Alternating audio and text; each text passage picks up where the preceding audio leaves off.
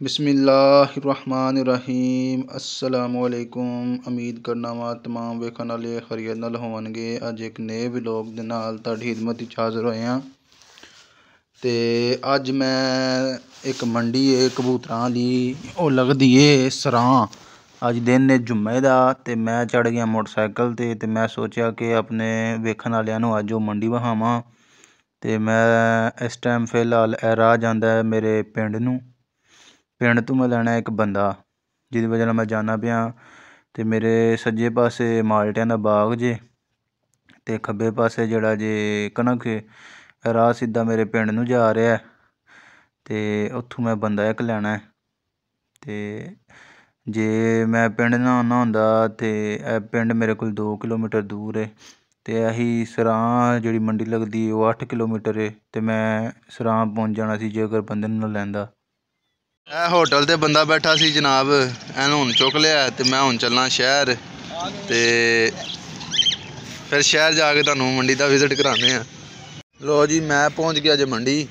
ਮੈਂ ਮੋਟਰਸਾਈਕਲ ਖਿਲਾ ਰਿਹਾ ਜੇ ਸਟੈਂਡ ਤੇ ਤੇ ਮੈਂ ਲੱਗਾ ਜੇ ਮੰਡੀ ਦੇ ਅੰਦਰ ਇੰਟਰ ਹੋ ਲੰਗਾ ਤੇ ਮੇਰੇ ਨਾਲ ਜਿਹੜੇ ਭਾਈ ਆਏ ਨੇ, ਉਹਨਾਂ ਕਬੂਤਰ ਫੜ ਵੀ ਲਿਆ ਜੇ ਇੱਕ ਚੈੱਕ ਕਰ ਰਹੇ ਨੇ।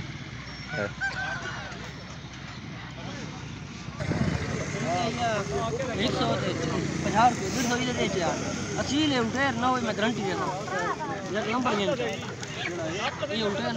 ਕਬੂਤਰ ਚੈੱਕ ਕਰ ਰਹੇ ਨੇ ਕਾਸ਼ਫ ਸਾਹਿਬ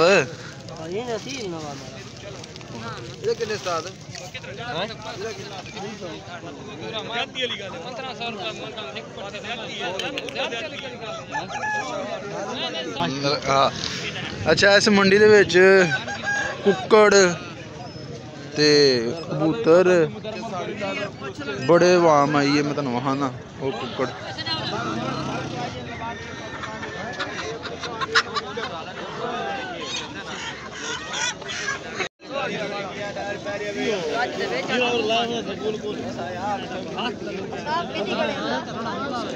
एक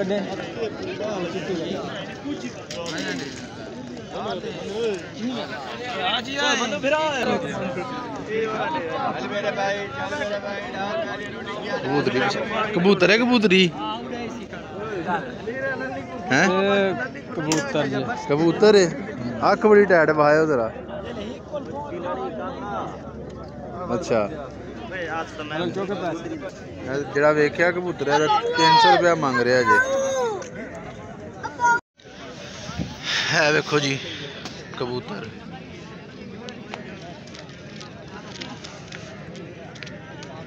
श्रीगढ़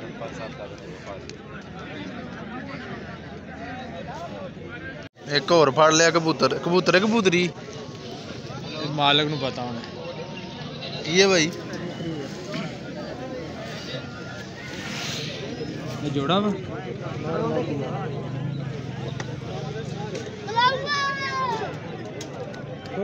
ए कबूतरी है? ओ भाई को कबूतर है। ਹੈ 2000 ਰੁਪਏ ਦੋਨਾਂ ਦਾ ਫਾਈਨਲ ਕੀ ਹੈ 2000